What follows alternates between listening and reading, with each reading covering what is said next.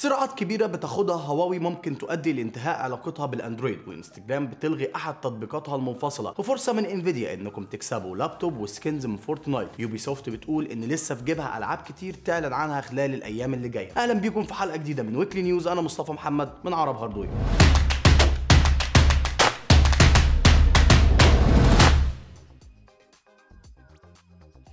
انستجرام قررت إنها تقفل application المحادثة المنفصل الخاص بيها واللي كان اسمه انستجرام direct ومن المفترض إن ال application كان معمول عشان منافسة لسناب شات. الفكرة إن كل الخصائص اللي موجودة في ال application كانت موجودة فعلا في application انستجرام نفسه. ومن هنا جه قرار انستجرام إنها توقف ال application وتركز بس في تطوير ال application الرئيسي. من ضمن الخواص الجديدة اللي هيتم إضافتها لكل من انستجرام وفيسبوك الفترة اللي جاية هي تشفير الرسائل الخاصة وإمكانية إنك تشوف فيديوهات مع أصدقائك ونسخة ويب خاصة للمحادثات. والسؤال هنا هل استخدمتوا انستجرام direct قبل كده ولا دي أول مرة تسمعوا عنه؟ مش فاكرك يا جاوبونا تحت في التعليقات وبمناسبة الحاجات اللي بتنتهي فبنفكركم إن لسه في فرصة تستفيدوا من bundle فورتنايت من انفيديا لما تشتري أي من كروت ال 10 series أو ال 16 series ال bundle بتوفر للاعبين 2000 V-Bucks بالاضافة ل skin Reflex و glider و axe وشنطة ال bundle هتكون متوفرة لحد يوم 25 مايو. وبنفكركم كمان إنكم تشتركوا في مسابقة انفيديا الشرق الأوسط عشان يبقى لكم فرصة تكسبوا لابتوب من MSI بكارت من فئة 16 series كل اللي عليكم تعملوه هو تسجيل فيديو للحظة انتصارك في game فورتنايت عن طريق انفيديا ShadowPlay Highlights وتشاركوها hashtag Fortnite battle night.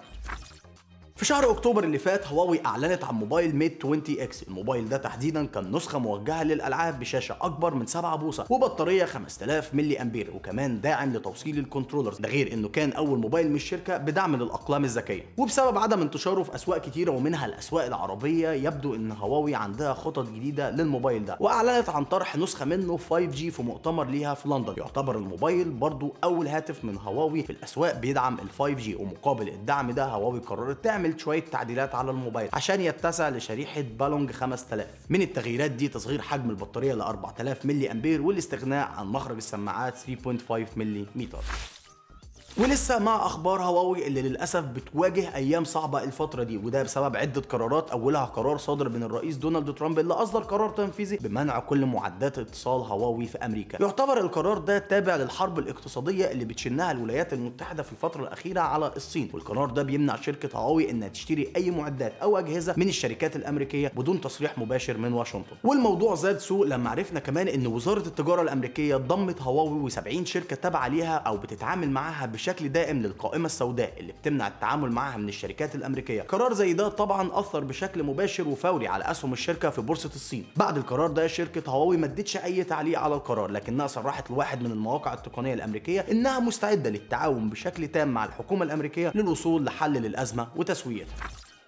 وللأسف المشاكل بالنسبة لهواوي مش بتنتهي. امبارح اتفاجئنا بإعلان شركة ألفابت المالكة لجوجل وقف أي تعاون بينها وبين هواوي يتطلب نقل قطع hardware أو برامج software ما عدا ال software مفتوحة المصدر أو ال open source وحسب مصدر مقرب من الشركة فالخطوة دي جاية على خلفية قرار الحكومة الأمريكية اللي اتكلمنا عنه من شوية. قرار جوجل ده معناه ببساطة شديدة جدا إن مفيش أي تحديثات أندرويد جديدة على هواتف هواوي. ده بالإضافة لفقد كل موبايلات هواوي خارج الصين خدمات جوجل وتطبيقاتها زي جوجل Play وال Gmail و Maps و Chrome وباقي البرامج في حزمه تطبيقات جوجل اندرويد. وبكده يبقى فاضل بس إمكانية استخدام نظام الأندرويد بما إنه open source لكن بدون أي تحديثات أو برامج تابعة لجوجل. جدير بالذكر إن قرار الحكومة الأمريكية كان صدر بشكل مشابه قبل كده مع شركة ZTE ولكن جوجل ساعتها ما أخدتش أي خطوة شبه اللي عملتها مع هواوي. تفاصيل أكتر هتعرفوها عن المشكلة اللي بتواجهها هواوي من ال i اللي هتظهر لك هنا. وقولوا لنا رأيكم تحت في التعليقات هل شايفين القرارات دي هتأثر بشكل قوي على مستقبل الشركة؟ وإيه تأثير القرار ده على سوق الهواتف الذكية بشكل عام؟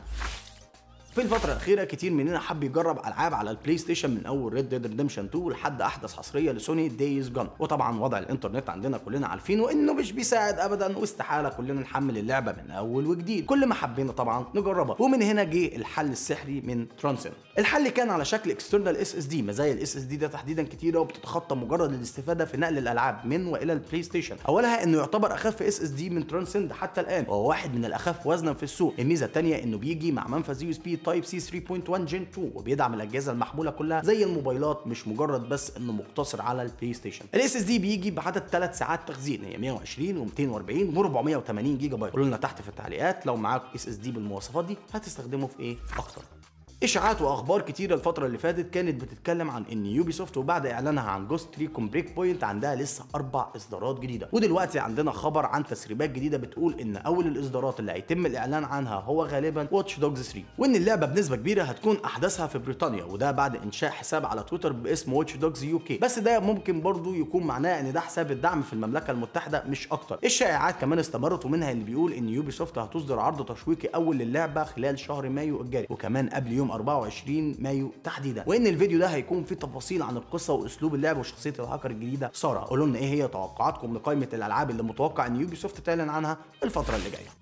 أنباء عن نية كاب كوم بتطوير ألعابها اللي جاية باستخدام RE Engine اللي بشكل ما ممكن يكون اختصار ل Resident Evil ما يخفاش على حد النجاح اللي حققته الألعاب الثلاثه الأخيرة من كاب كوم اللي تم تطويرها باستخدام ال engine ده. بنتكلم عن Resident Evil 7 و remake Resident Evil 2 وأخيرا Devil May Cry 5 كاب كوم في تقريرها المالي ذكرت النقطة دي تحديدا وان تحقيق الثلاث عناوين دول للنجاح هيشجعهم إن هم يطوروا ألعاب أكتر باستخدام ال engine ده في المستقبل. واللي هيستمر معاهم في عناوين الجيل الجديد كمان خصوصا إن ال engine فيه قابلية للتعديل والإضافة بما يتوافق مع التكنولوجيا الجديدة اللي هتكون موجودة في الجيل الجديد من أجهزة ال console. بس لحد دلوقتي كاب كوم ما صرحتش عن عناوين الألعاب اللي هي شغالة عليها. وده يفتح لنا مجال للتوقعات قولوا لنا ارائكم في التعليقات. إيه هي الألعاب اللي متوقعين تشوفوها قريب من كاب كوم شايفك يا اللي بتقول Resident Evil 3 بس توقعاتنا بتقول إن كاب كوم هتخلينا نستنى شوية على ما نشوف remake للجزء الثالث من السلسلة.